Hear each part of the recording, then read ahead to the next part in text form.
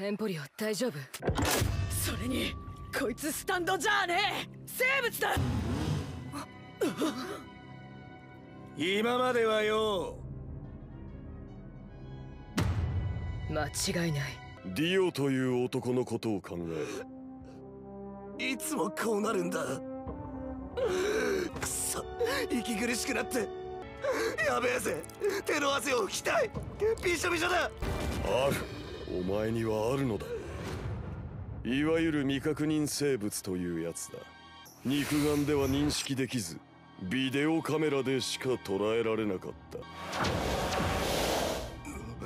今見えました。今触れたのか？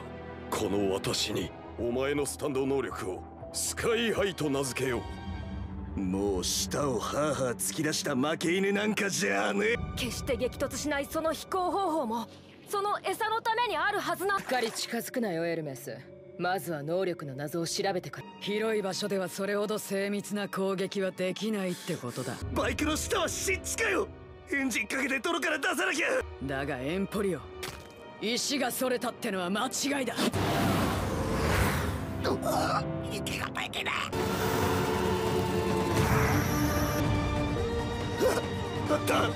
キーはバイクについたままだった俺は今までそれのどこが偉いのかさっぱりわからなかった。月面に立ったのは人間の精神なんだってな。血量がおしっこが血だらけだよ。俺は熱した鉄のような憎しみとともに次にやるのはお前らが始末するのは3人同時だ。勝手にあんな風には。体の中血のおしっこは腎機能へのダメージ。他の健康な部分よりも体温が低くなってるって。ロッツは他の動物の体温を自分の生体エネルギーにして活動している生物なんだ。ただ動きを封じるため脳幹の体温だ。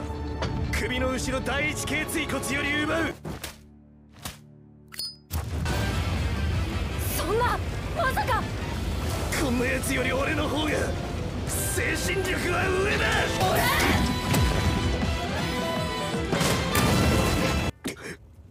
自分たちの決闘のことを考えろ。自分の体験で理解できるはず。何してるんだ！口の中には視床という目の神経に関係する部分が。勝利者は俺だ！もうパニックの症状が出たりはしない！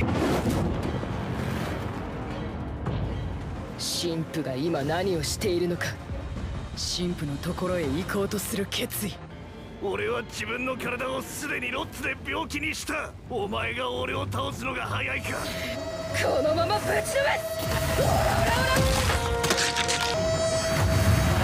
太陽を奪うためにせっかく首の後ろの火を消したくそ。偶然よ。ギリギリだった。いいか俺は今満ち足りている。俺は神父のために存在している。全ては神父を天国へ押し上げるために動いている運命。偶然と答えたな。神父の求めているものはその偶然だ。俺か？それともお前か？そして運命は集っていく。ウェザーリポート。奴は神父の実の弟だからな神父は私に倒されるためにいる。行くぞオーランドへ。ジョリーンお姉ちゃんは最後まで何も言わなかった。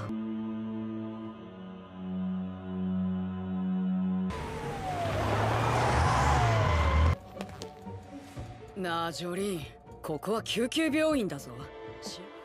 エンポリオお願いがあるの。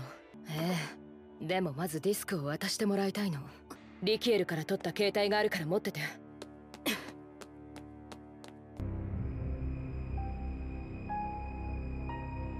ベルサス。材料に何が入ってるか聞きたいんだ。アスパラガスをスライスしてカニ肉をすりつぶしたものを挟み込んでソースにかすかな香りが。君の靴のサイズは27センチか？腕時計のベルトは穴2つ目？